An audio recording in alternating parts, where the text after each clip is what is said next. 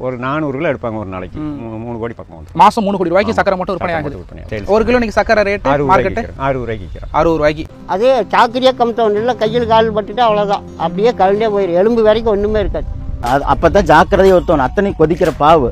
ம- ம- ஏனாதானெல்லாம் தூக்குனா கையில் பட்டுனா அப்போவே கொப்பலாயிரும் புண்ணாயிரும். அதனால மெதுவாக தூக்கி அது வருது இது முட்டை கொடுத்து இப்படியே சாய்க்கணும். சாய்ச்சி சாய்ச்சோம்னா பாவு ஆறிக்கு ஆறு ஆறு நம்ம வேலை செஞ்சுட்டே இருக்கணும். ஃபஸ்ட்டு ஆற்றணும் ஆற்றினா பாவு வந்து உணர்ந்துரு. ஒரு அஞ்சு நிமிஷம் உணர்ந்துரு. உணர்ந்த உடனே மறுபடியும் அதை வந்து அந்த வர அந்த முட்டி இருக்குங்களா அது மட்டும் தேய்ச்சிட்டே வரணும். தேய்ச்சி ஒரு நாலு நிமிஷம் அஞ்சு டைம் தேய்க்கணும். திருப்பி திருப்பி போட்டு இருக்கணும்.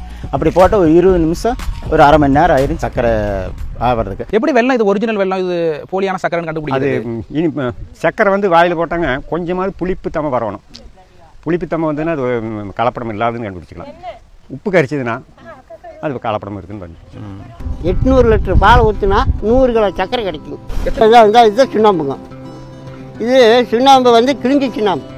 கிழிஞ்சி சுண்ணாம்பு இதில் ஒரு இரநூறு கிராம் போடுவோம் இரநூறு கிராம் போட்டோம்னா தான் இது இந்த பாவுக்கு கரெக்டாக இருக்குது இது தேங்காய் எண்ணெய் சுத்தமான எண்ணெய். இந்த எண்ணெய் போ தான் நாங்கள் போடுறத. ம். அந்த பதத்துக்கே இல்லைன்னா வராது. ஒரு நிமிஷத்துல வந்து நாங்க போயிட்டு சக்கரை எடுத்துட்டோம் அப்படின்னு சொல்லிடுறோம். ஆனா அதுக்கு பின்னாடி இவ்வளவு பேரோட உழைப்பு இருக்கு. ஆமாங்க. பின்னால அந்த ஜீனி மேம் அதுக்கு பேர் என்ன சொல்றீங்க? வெள்ளை அது அஸ்கா. அஸ்கா சாப்பிடவே மாட்டீங்க. சாப்பிட மாட்டோம். நாங்கள் அது ஏன்? அதில் கெமிக்கல் இருக்குது. அதனால நாங்கள் சாப்பிட்றதுல போட்டாலும் வாயெல்லாம் புண்ணு. ஆ, பதமாச்சா போ. பதமாயிருதுங்க ம். எடுங்க சாப்பிட்டு பார்ப்போம். இப்போ கையில் எடுக்கலாம். ஆ. சுடு இருக்குது. இதான் கவுந்தம்பாடி நாட்டு சக்கரை? ஆமாங்க. ம். டேஸ்ட் பண்ணி பார்க்கவா? பாருங்க. எல்லாம் சூடா இருக்கு. ஆமாங்க சூடு அப்புறம் உப்பு தானே இறக்கி ஆறணும் இன்னும் ரெண்டு தேப்பு தேய்க்கணும். அப்பா அவ்வளவு வாசனை. அவ்வளவு சுவையா இருக்கு. ஆமாங்க. பயங்கர தித்திப்பா இருக்கு. வெயில் இருந்தால் தான் எங்களுக்கு இந்த வேலையே. வெயில் இல்லைன்னா இந்த வேலையே இல்லை. மழை பெஞ்சிட்டு இதெல்லாம் செய்ய முடியாது. இப்ப தள்ளி விடுறீங்கல்ல இதை பத்தி சொல்லுங்க. இது சக்கைங்க. இது சக்கை கோது.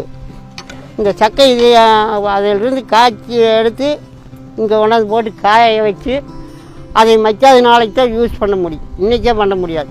எட்நூறு லிட்டர் பால் ஊற்றுனா நூறு கிலோ சர்க்கரை கிடைக்கும் இப்போ இது நான் நிற்கிற இடமே நான் நிற்கிற இடம் அடி தீ எரியுது மேலே நான் நிற்கிறேன் இது மேலே. அடி தீ எரிஞ்சிட்டு இருக்குது இந்த இடம் சும்மா ஹீட்டு பயங்கரமாக இருக்குது நாங்கள் சக்கை போட்டு தான் நின்றுட்டுருக்குறோம் இந்த சக்கை மேலே தான் நின்றுட்டுருக்கோம் இல்லைன்னா வெறும் கல்லாக இருந்ததுன்னா க கல் மேலே நிற்க முடியாது. சுண்ணாம்பு இரநூறு கிராம் இருந்து இரநூத்தம்பது கிராம் வரைக்கும் போடுவோம் சின்னம்பு. இதில் வடிகிற அழுக்கு நாங்களாம் வந்து சும்மா அப்படியே காய்ச்சி எடுக்கிறது தான் இந்த அழுக்கு. இதே வந்து கெமிக்கல் போட்டு அழுக்கு எடுக்க எடுக்கிறோம்னாக்கா அது ஒரிஜினலான சக்கரை கிடையாது. கெமிக்கல் போட்டு எடுக்கலாம். விலை வேணும் வரும். இந்த அழுக்கு வந்து நாங்கள் எதுவுமே போடாத அப்படியே அதை அதான் காய்ச்சி வர்றது தான் கெமிக்கலாக கெமிக்கலு எதுவும் யூஸ் பண்ணுறதில்ல நாங்கள் அது என்ன பண்ணுவீங்க அந்த அழுக்க இந்த அழுக்கு எடுத்து அங்கே கீழே கொட்டி அடுத்தாப்புல எருவுக்கு பயன்படுத்திடுவோம்.